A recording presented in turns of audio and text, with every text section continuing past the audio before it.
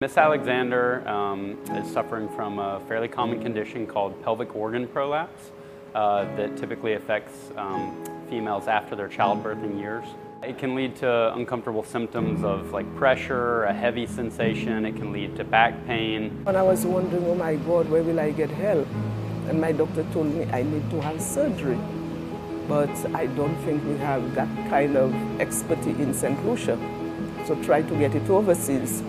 And I prayed to the Lord about it, and God sent me help. Oh, the care is excellent, excellent, excellent. I'm in no pain right now. I feel good now.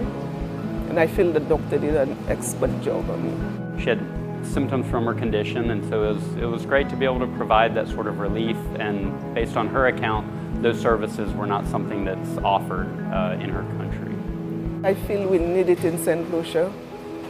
Yeah, our resources are very limited in terms of medical care, finances, and there are some persons who cannot afford it, depending on the kind of situation they are.